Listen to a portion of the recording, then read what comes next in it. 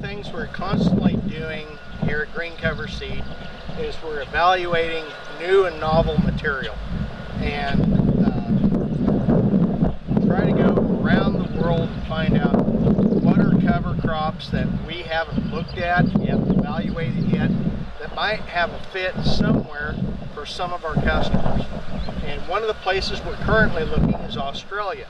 Australia has a climate that's pretty similar to southwest Texas.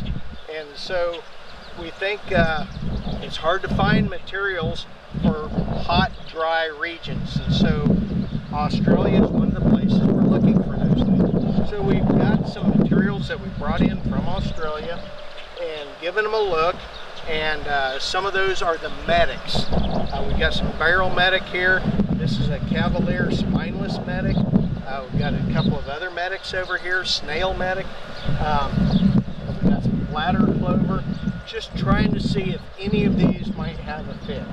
Uh, what we've looked at so far, uh, the most impressive one to me, and this comes at no surprise if anybody's listening from Australia, this is a very popular emerging cover crop in Australia. And that's the spineless Cavalier Medic. Uh, really looking good. They're used as winter annuals in Australia. Here, everything here was spring planted that we're looking at today.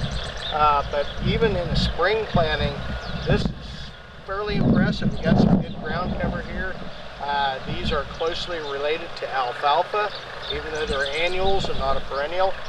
Um, good nitrogen fixers, very drought tolerant, very low water use compared to other I think that this could be used as a reseeding winter annual in uh, either native grass or Bermuda grass mixes.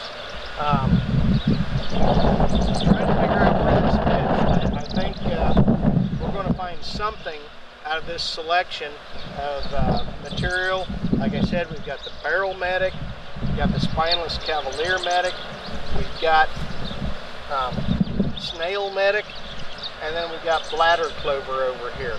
And uh, just uh, giving these things a look, and if you want to try some of these, especially if you're somewhere further south where these would stand a better chance of overwintering, give us a holler, get some of this material, see what you think.